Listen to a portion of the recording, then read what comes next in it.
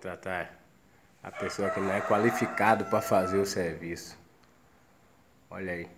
Olha que bagaceira. Deixou o canto ali, o arremate. Não pode acontecer aquilo. Olha. A abertura que está no canto da parede.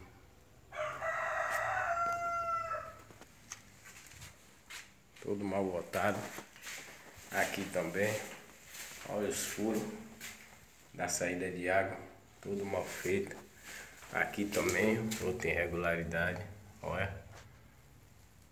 Trabalho todo mal feito, ó.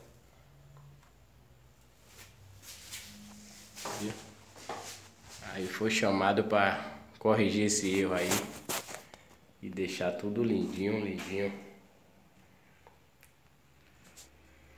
Aí pessoal, quando for fazer um serviço na sua casa, Olhe bem o profissional que você, a pessoa que você vai contratar.